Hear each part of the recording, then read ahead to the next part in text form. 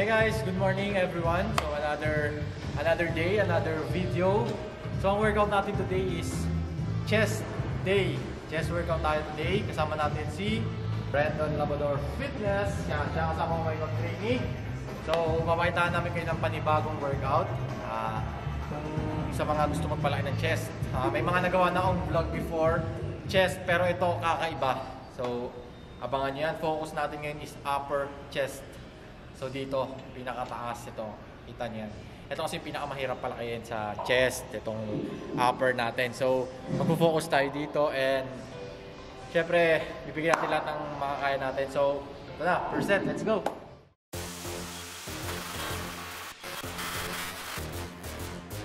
Jordan Labrador in the house, yo. Siyempre, unahin natin itong ano, pec deck. Ito tinatawag nila pec deck para sa chest. Oh. Sa panahon ngayon, di ka pwede basta lumabas. May sakit na kumakalat na napakamangahas Kaya sarili lang puhunan mo Kailangan ng lagaan mo Matutong irespeto. ang sarili kalusugan So, yung technique doon guys, pag nag-pec deck kayo o kaya flies, dapat para may niyayakap ko yung puno para mas ma-squeeze yung chest. Okay? First exercise. Kaya ngayon dapat ang utak ay buksan mo Bawal ang mahina at yung puro ka reklamo Ang gym gawin mong bisyo Mag-ingat ka lang iho Lahat may sakripisyo Basta tama lang sa wisyo Okay, second set. So, importante dito guys, pag nag-upper chest kayo, importante yung form. So kung mahina kayo dito, maliit yung upper chest ninyo, unahin nyo yun. Para lahat ng energy nyo, lahat ng motivation nyo, lahat ng gana nyo sa buhat, mabuhos nyo lahat dito sa first exercise ninyo. Okay? Pero mag-warm up muna kayo, syempre. Kasi lahat tayo may, may lower chest na eh. Upper chest yung pinakamahina, upper chest yung pinakamahirap ma-develop. So, inuuna namin siya. Tapos make sure na may squeeze yun na husto. Tingnan nyo yung muscles niya. Ah, nagko-contract talaga. Grabe. Pag proper form kasi mas mahirap. So yun yung essence na inuuna namin siya, upper chest, isolation. So ibang ibang routine naman yan. Iwanan ng katamaran Wag na wag Yeah, make sure na na-squeeze ko. Isipin mo na kayang-kaya yan Di naman kami nagmarunong Nag-aral at nagsikap kaya eto na ngayon Madaming magaling pero nasan na sila Minsan di sapat pag kinulang ka sa tiyaga Huwag kang makontento And hindi ko siya hinahayaan mag-rest. Okay? Lagi na contract, lagi na contract. Hindi ko siya hinahayaan mag-rest. Third set. Third.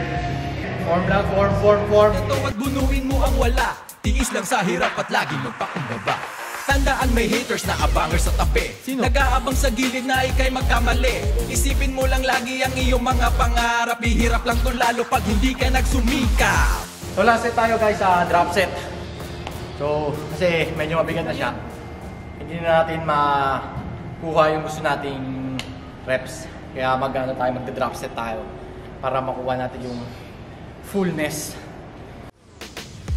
Sa bagong normal, kailangan mong sumabay. May risk na kaakit ang mga bawat paggalaw Pag-aralan mong mabuti kung saan ka lulugar. Mahalaga ang ligtas ka at ang pinundar Walang magaling na di dumaan sa hirap Dumaan sa apoy, pinagtibay ng pangarap Sa daming problema, hindi pa nagpatinag Di tatablaan ng kahit na ano mang bitag Lahat ng aksyon ay dapat iyong pag-isipan Isipin na maigi at ito ay paghirapan Kapalit kasi ito ay di mo inaasahan Flex, flex.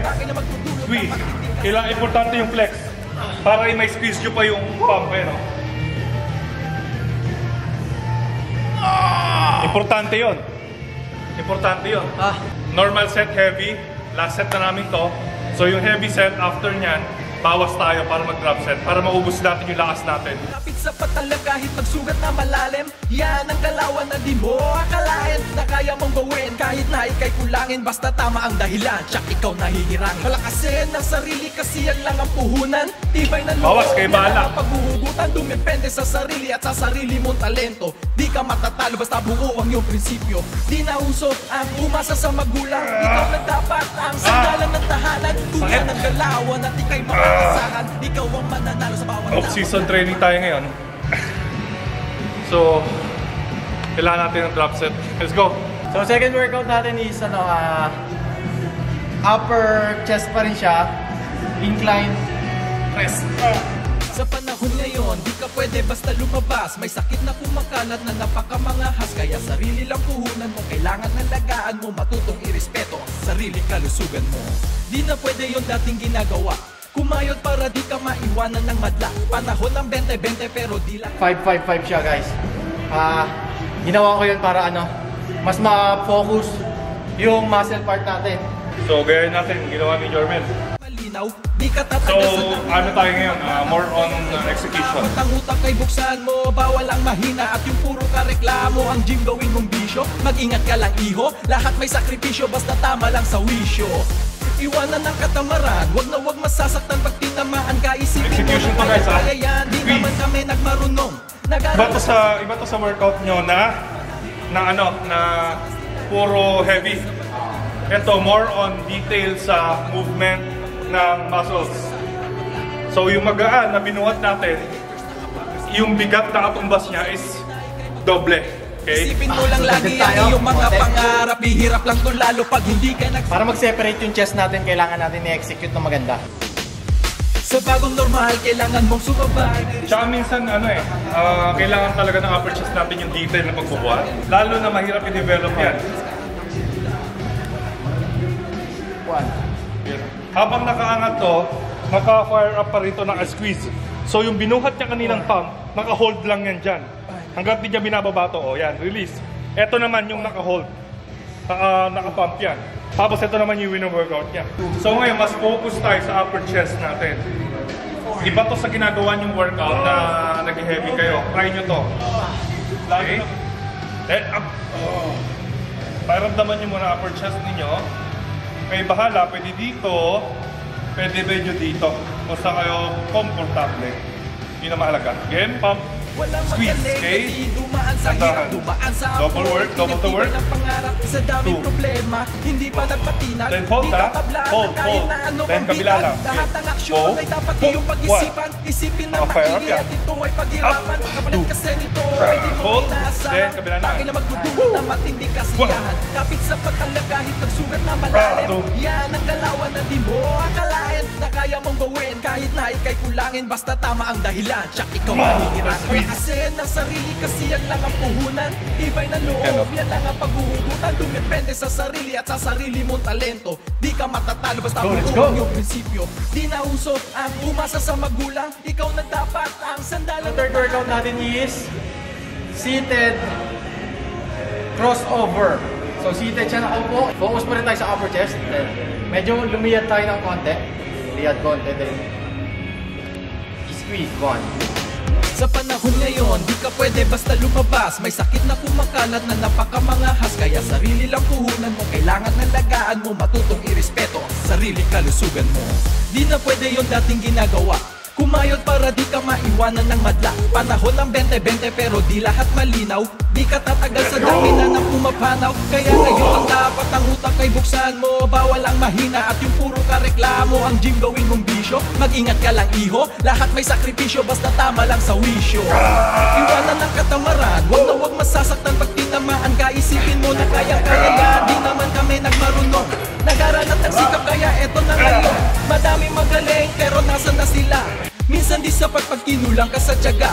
Huwag kang makontento at bunuin mo ang wala. Tiis lang sa hirap at lagi magpapababa Tandaan may haters na abango sa tabi. Nag-aabang sa gilid na ikay magkamali. Isipin mo lang lagi ang iyong mga pangarap. Ihirap lang kung lalo pag hindi ka nagsumika Okay mo. Tubig lang yan. Boom. Tara, samahan mo ako. Sa bagong normal, kailangan mong sumabay May risk na kaakibat ang mga bawat paggalaw Pag-aralan mong mabuti kung saan ka lulugar. Mahalaga ang ligtas ka at ang pinundar.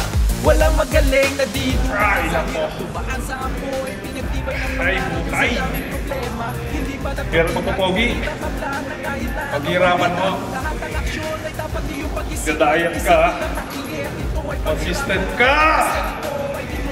ng aksyon ay dapat iyong pag-isip Gadayan ka. Consistent ka. Ah. Ah. Ah. Ah.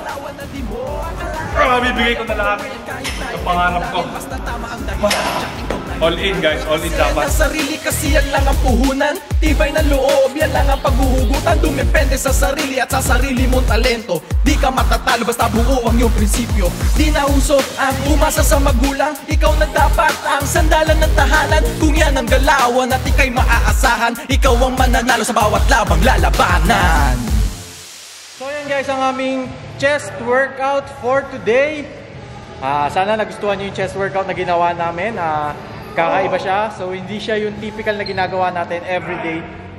Pag nagbubuhat tayo, wala siyang mga wala siyang mga bar, di ba? Kasi halos kadalasan pag nag-chest tayo, ginagamit natin yung mga bar, nag-ano tayo incline press, di ba? Mga bench press ganun. Ngayon, hindi tayo nag-focus doon, guys. Nag-focus tayo sa puro isolation. Mas maraming isolation niya, mas finil natin yung mga muscle part, di ba? Mas pinocus natin yung upper chest natin kasi ito talaga yung pinakamahirap na part sa chest.